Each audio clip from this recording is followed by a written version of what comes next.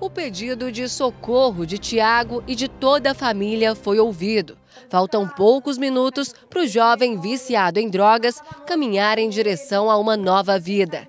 Depois de quase 20 anos, ele finalmente vai poder se tratar da dependência química. Tiago, faltam poucos minutos aí para a equipe do Dr. Vilmar chegar, né? Como que tá a expectativa? Uai, tá assim, coração na mão, né? Batendo, vai esperança nova, né? Mudar a minha vida.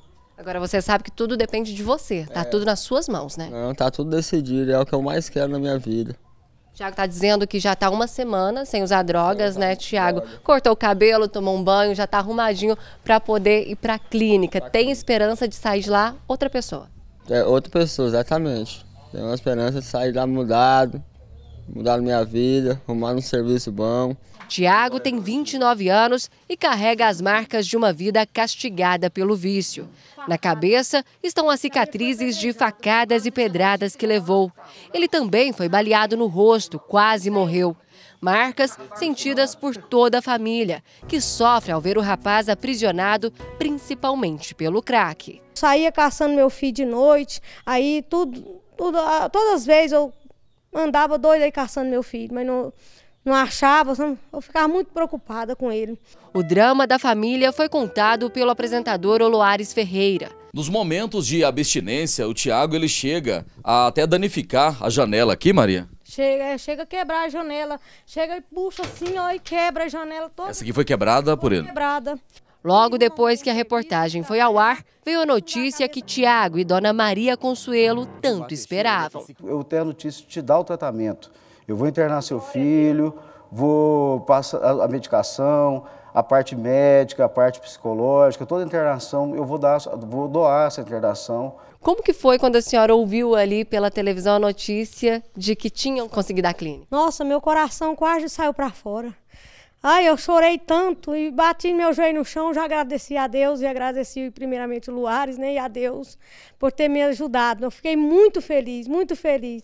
As orações de uma mãe que sofre há anos foram atendidas. A oportunidade de uma nova vida bateu na porta de Tiago. Doutor Vilmar, o Tiago estava aqui, mas a dona Maria Consuelo ansiosos, já esperando a chegada de vocês. O que, que você pode dizer para eles nesse momento? É, nesse momento, graças a Deus, eu, em poder ajudar né, como médico né, e ver que essa família tem a necessidade de receber essa ajuda. Né? Isso aí é tanto um resgate que você está tendo agora, um resgate é, voluntário que você quer ir, entendeu? E também para te salvar das drogas, te salvar desse, desse, desse mundo onde você precisa de uma ajuda, sozinho você não consegue. Tá decidido, Tiago? Estou. Caminho para frente agora? Estou decidido, caminho para frente, vida nova. E depois de ouvir tudo isso que o doutor falou, o que, que tem a dizer para ele? Só agradecer ele, pedir muito para que Deus abençoe ele e a família dele. Vai fazer aquilo que está prometendo? Vou fazer o que eu, tô, que eu falei que eu vou prometer. O rapaz, endurecido pela vida, chorou antes de partir. Alegria, emoções, felicidade, né? E agora que eu estou vendo que eu vou mudar a minha vida.